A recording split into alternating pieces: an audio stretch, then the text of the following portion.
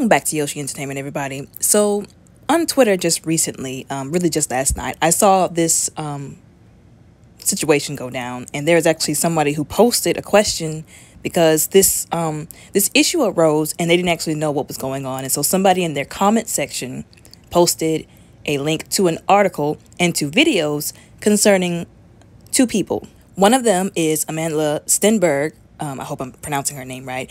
And the other is a New York Times critic, movie critic, basically, uh, named Lena Wilson. Now, apparently, Amandla was in a movie called Bodies, Bodies, Bodies. And in the movie, she said herself, like I said in the in the videos that was posted, that she had to wear um well not necessarily that she had to, I guess, but that she was wearing a tank top. Now, some women have big boobs, some women have small boobs. We all should know this by now. We're adults. If you have big boobs as a woman, certain shirts that you wear quite naturally it's going to look a little bit different on you than it would on somebody who has smaller boobs. And sometimes people kind of label that as them being fast or you know, they, they label them certain things. And it's just that it's, you know, some young women develop faster. Let's just put it that way. Okay, some some women they just have more up top. And just because they have on a certain shirt doesn't mean that they should be labeled anything. And I get it. Like I said, some women with more up tops, so to speak, will, you know, kind of refrain from wearing certain tops because, you know, I had a friend who she had double D's and she was saying every time I put on certain shirts, people look at me like I'm a slut because I have, you know, big boobs. So, you know, there's just certain shirts that I don't wear. But in this movie, she said that she was wearing a tank top in this particular video. And she was saying that the critic Lena Wilson, basically in her, you know, criticism of the movie, so to speak, said that the movie was, and I'm roughly quoting what she said, a 95 minute advertisement of cleavage. Now, I get it. It is the role of a critic, a movie critic, to criticize, okay? To pick stuff apart. I get it. But even with that, like, I, I, I think I've said this before don't get so wrapped up in your job that you overstep. You know what I'm saying? Like, don't get so wrapped up in I'm doing my job that you do or say something that you should have never done. But that being aside, just because you're a movie critic and you get paid to criticize movies does not mean that everybody has to agree with how you criticize it. People can say, oh, I thought that, that was stupid. Like, well, why would you say that? Like, well, obviously, this, this, this, and X, Y, Z, and this, that, and the third. You know, like people, just like they have the right to criticize and they get paid for it, people have the right to, you know, say what they say about the criticism, so to speak. Now, apparently, Lena Wilson is gay. That's been put out there already. And Amandla DM'd Lena Wilson after she saw that, you know, that critic write, that criticism that she wrote concerning the movie. And she DM'd her, which, um, so I'm going to say this before I continue. I don't know why we have gotten into the age of people leaking and exposing DMs, but it's quite immature and unnecessary. Now, I can understand if somebody was like threatening you through your DMs or if somebody's husband was trying to hit you up and you're like, I'm exposing this for some kind of self protection. I can understand that. But all the rest of that stuff, like I said, it's just, it's a bit immature to me. You know what I'm saying? But, anyways, Amandla DM'd Lena Wilson. And in jest, she said something to the effect of, well, if you wouldn't have been looking at my boobs the whole time, maybe you could have actually seen the movie. Now, again, I say that she said that in jest, and even she said that she said that in a joking manner, thinking that she would find it funny because something I didn't even know that Amandla is also gay. I did not know that. And so she thought that she was, you know, like I said, in jest, saying something funny that Lena Wilson would relate to.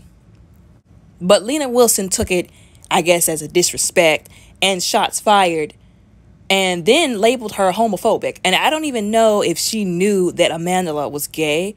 Maybe she did, maybe she didn't. But she just, I feel like she jumped the gun a bit.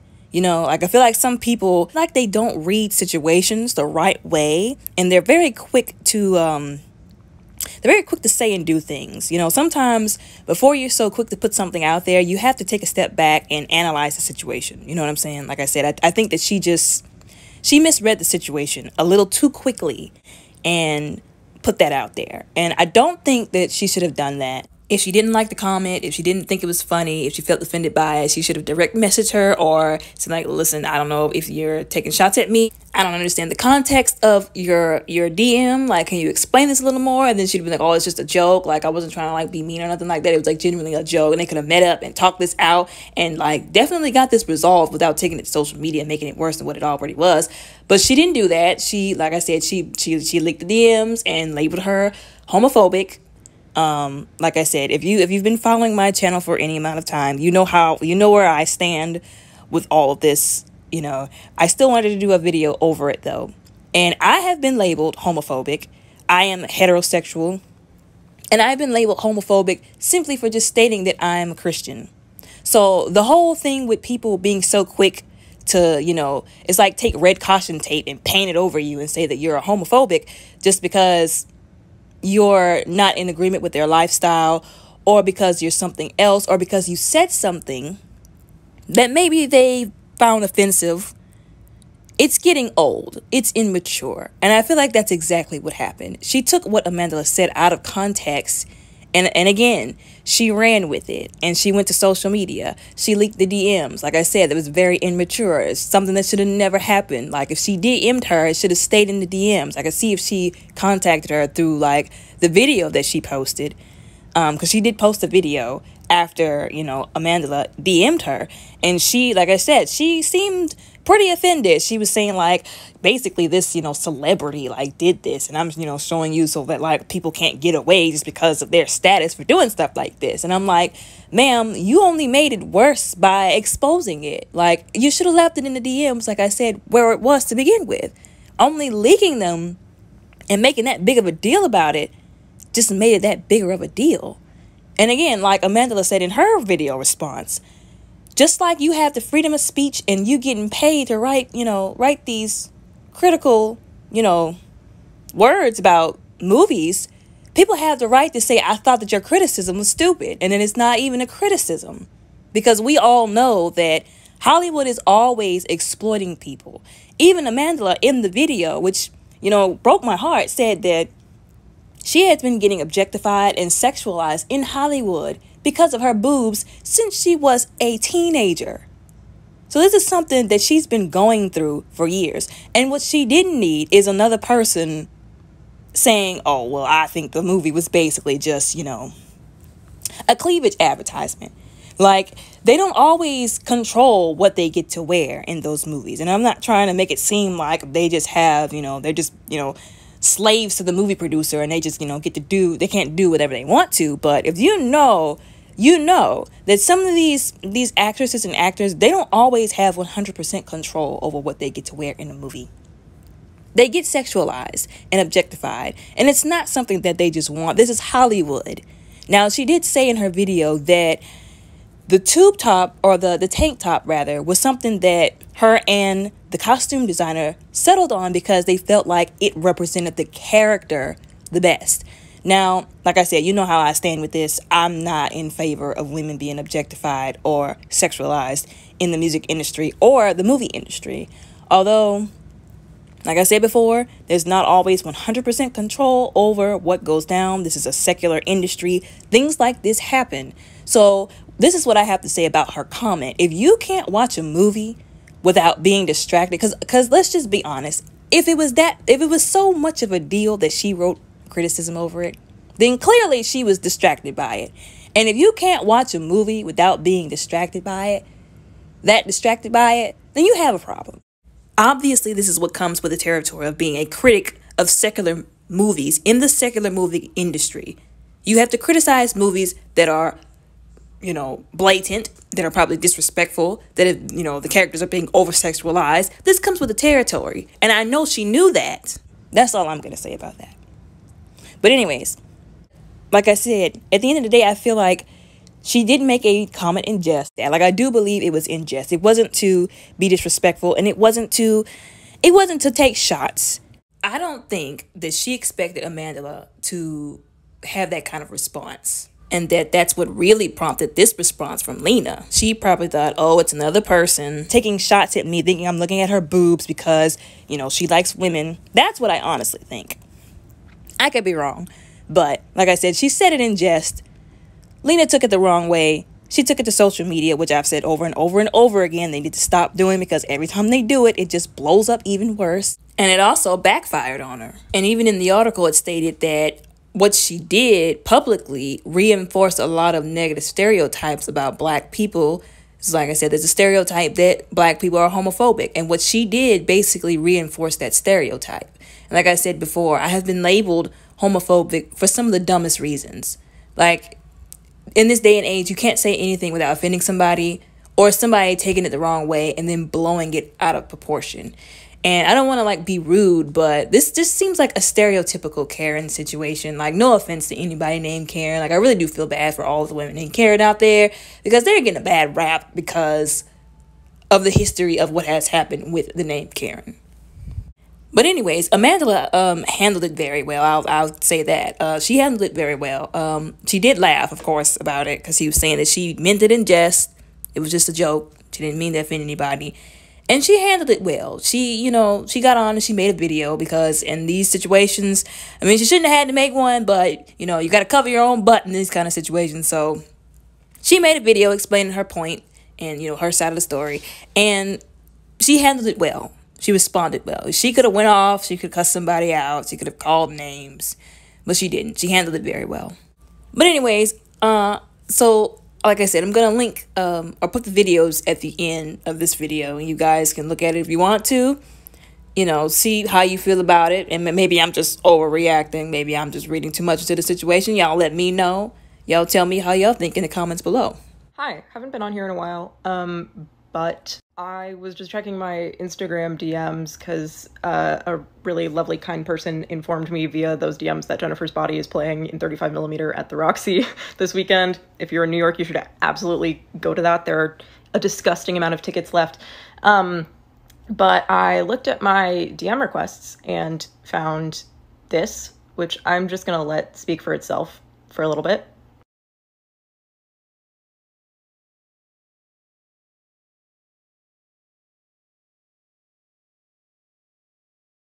For context, if you haven't seen, I reviewed Bodies, Bodies, Bodies for the New York Times and uh, really didn't like it and said so.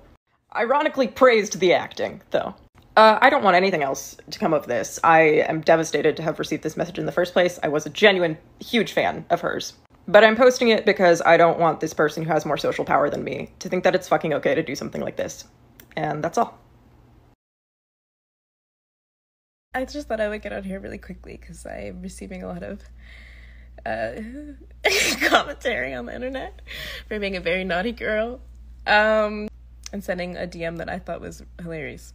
Uh, but basically, there's this film critic. Her name is Lena Wilson, and she writes the New York Times. And she wrote a criticism of a movie that I just had come out called Bodies, Bodies, Bodies.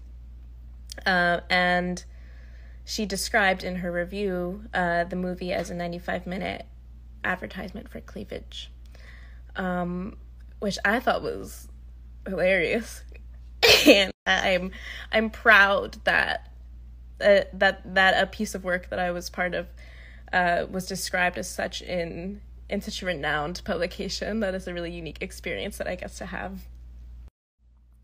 Anyways, um, I DM'd Lena, and I said,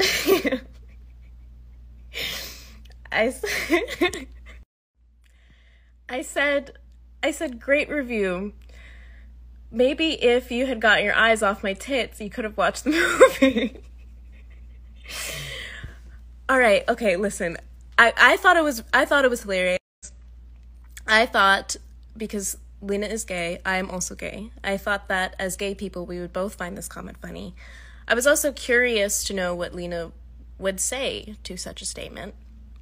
But Lena decided to publish it and uh, also says that I am homophobic for saying that. The intention of why I said that, and this is look, this is my experience as an actress. It's quite surprising. I mean, it shouldn't be surprising, I guess, at this point, but the amount of commentary that I receive on my boobs is so extreme. Uh, and this has happened since I was a teenager. I could literally be wearing a t shirt, and just because of the size of my boobs, um, there will be some sort of sexualization or commentary on my chest. Uh, in this movie, I'm wearing a tank top. Uh, and I know that when I'm wearing a tank top, uh, the result is there's going to be some cleavage because I have boobs. So I knew that this this comment was probably mostly directed towards me and I think that Lena was trying to make a commentary about A24 sexualizing me, sexualizing my body, um, you know, exploiting young women um, in order to sensationalize them, to, to make their media more popular, which uh, I understand the angle. I I can tell you that the I wore this tank top in this in this movie because me and the costume designer thought that it fit the character well. Um, and so, you know, I do get tired of people talking about my chest. It seems to be in Hollywood, it's not normalized to to have boobs that are above an A or a B cup. Like I, I I've actually noticed this in my time as an actress. Um, and so there seems to be a lot of unwarranted conversation around my chest that just kind of baffles me. Anyways, Lena, um, I thought your review was hilarious. I thought my DM was funny. uh, I did not mean to harass you, do not wish you any harm.